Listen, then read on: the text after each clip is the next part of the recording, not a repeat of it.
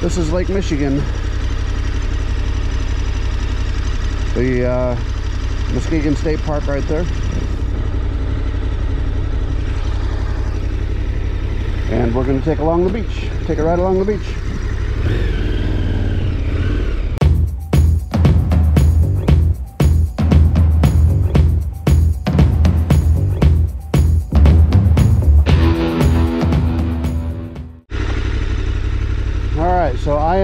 On some trails here.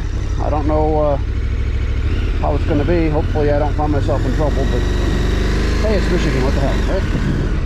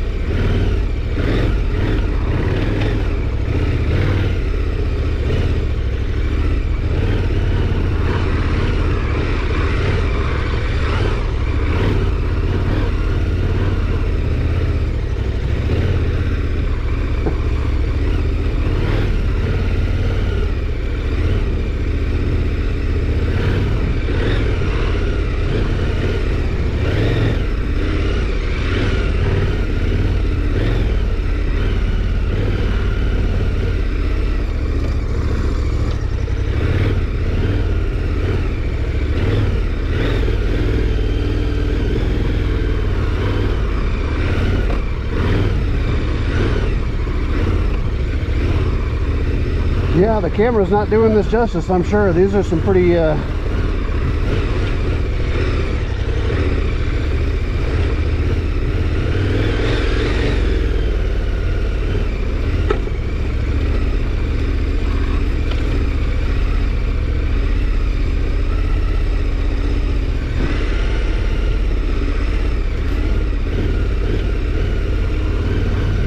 It's been a long time since I've ridden this kind of stuff.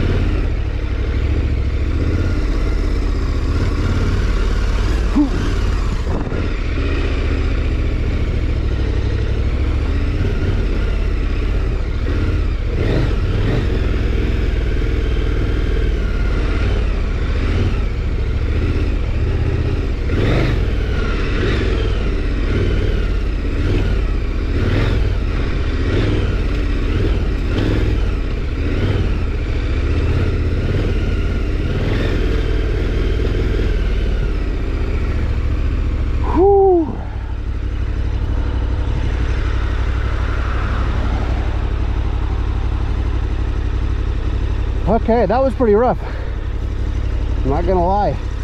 And that was probably only, oh, maybe a, a half a mile. Whew.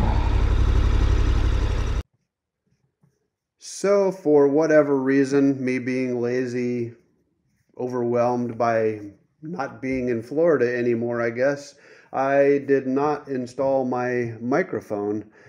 Um, so I'm going to have to do a voiceover here, so I apologize for that. Uh, this is Scenic Drive, headed north along the Lake Michigan shoreline um, out of Muskegon, Michigan. And uh, it is May 6th, I believe it was. Um, the trees are starting to get some leaves on them. Obviously, uh, you can see there on my, my GPS the route that I'm taking up through there. Um, yeah, the trees are starting to get some new growth on them. Usually, this is all uh, uh, uh canopied over with uh, oak leaves and maple leaves, and and uh, it's a very beautiful ride. Obviously, you can see here this the, the, the dunes there. Believe it or not, those are sand dunes uh, um, that the trees have grown in. Um, as we come up the hill, you will see the blockhouse right there. That is an old lookout from, oh, I, I don't even know when. That thing has been there, burned down multiple times, and, and uh, have been rebuilt multiple times. I know when I was a kid, we used to go in there and, and sign our names on the walls and everything else. And yeah, that's that's frowned upon these days. And they've cleaned it all up, and it uh, looks a lot nicer now.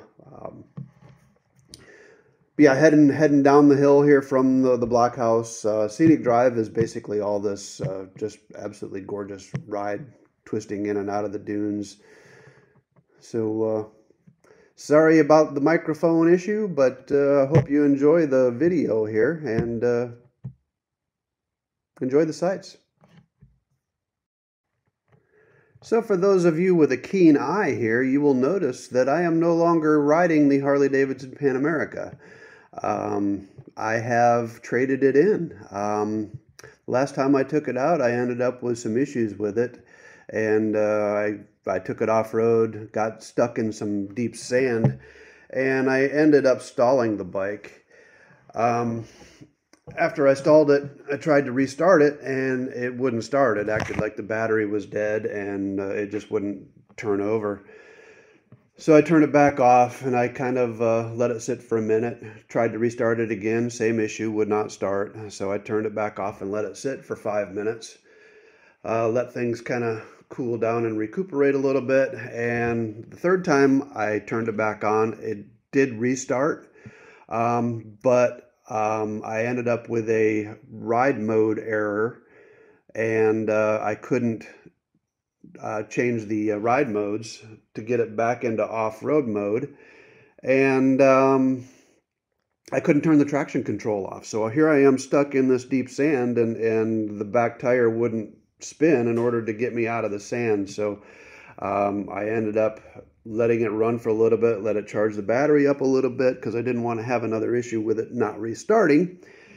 So I shut it back off again and let it sit for another five minutes or so. And I was finally able to restart it, get the modes to work, and I was finally able to get it out of the sand. But unfortunately, at that point, um, the little yellow wrench light showed up on the dash which usually means that my two year mark is, is up and it's time to do some brake service and, and uh, a few other things. So um, at that point, my ride was over. I decided to just ride home. I was two hours away from home. So uh, um, by the time I got it home, I let it sit. It was about four o'clock in the afternoon when I got home.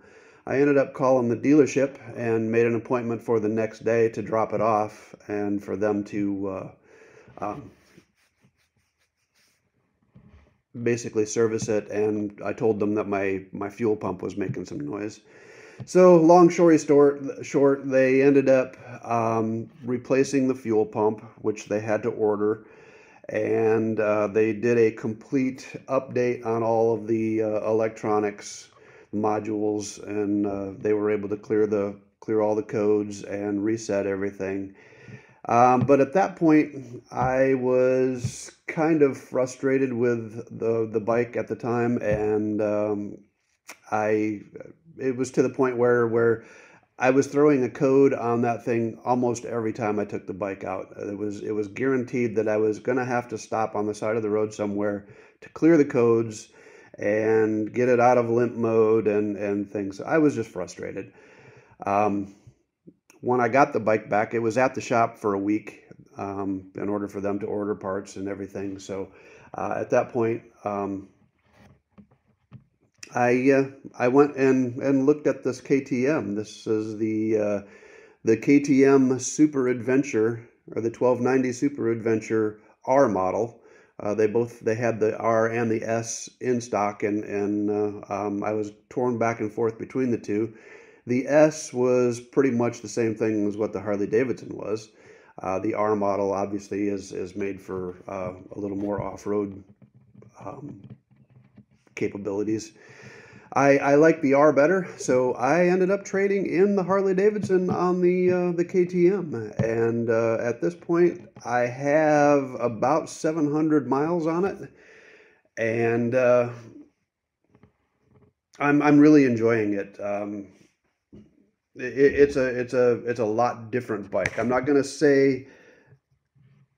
Well, I am gonna say it. It to me, it's it's a better bike. Um, it rides better, it handles better, it it uh, performs better.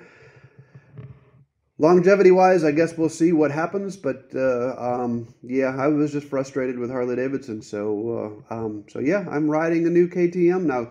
I apologize to all you Harley people, and I really don't want to lose subscribers, but uh, uh, I'm on to bigger and different things. I'm not going to say better yet because I don't know. I don't know if it's going to be a better bike or not.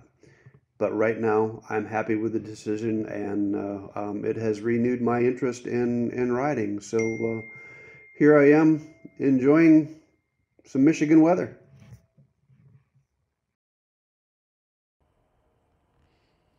So as uh, Scenic Drive winds its way in and out of the uh, dunes, it does make its way back along to the shoreline here along Lake Michigan. Um, up here, we're coming to Duck Lake, and this is where my mom and dad would take us as kids to go swim in Lake Michigan because the water was too cold. We would swim, swim in this little channel, channel up here um, where the water is shallow enough the sun would warm it up to where we could tolerate swimming in that kind of water. But yeah, Lake Michigan water is really cold if you uh, if you didn't know that already.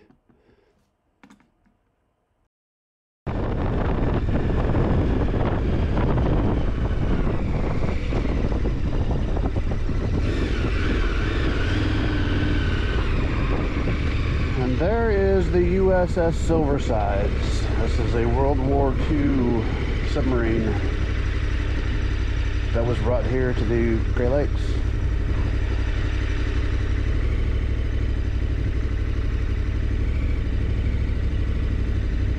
Pretty cool.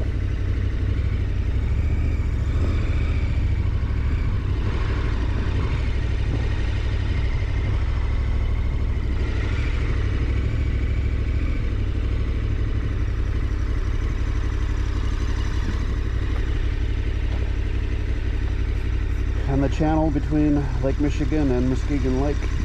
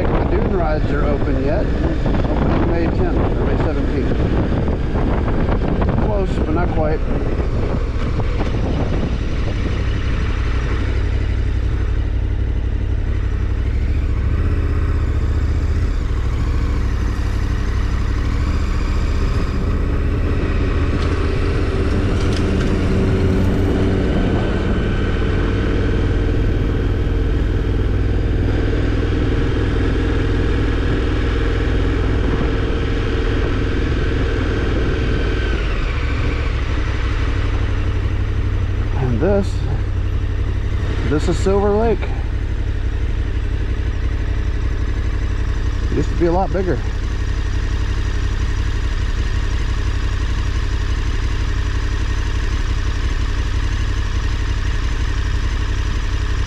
See over there, there's somebody running, running the dunes.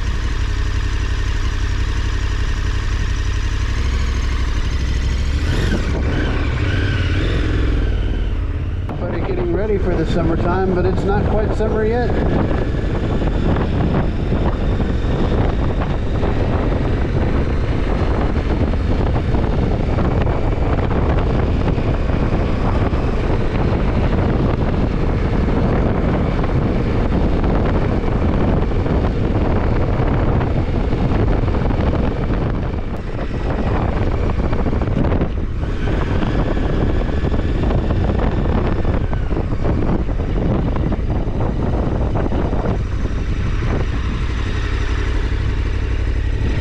So wow, yeah, this has all changed. This whole dune has pretty much taken over everything here. If I'm not mistaken, I believe there's a couple of houses buried underneath all of this. Like this one here is probably soon to be.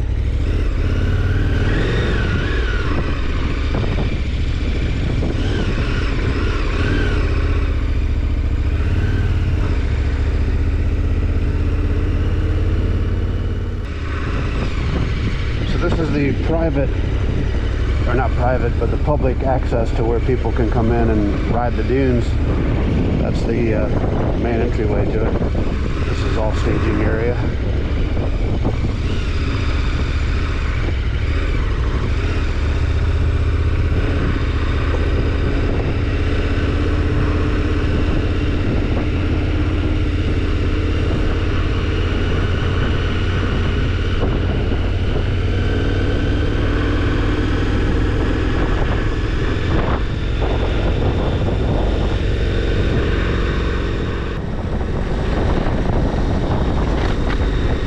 And there's the Silver Lake Lighthouse.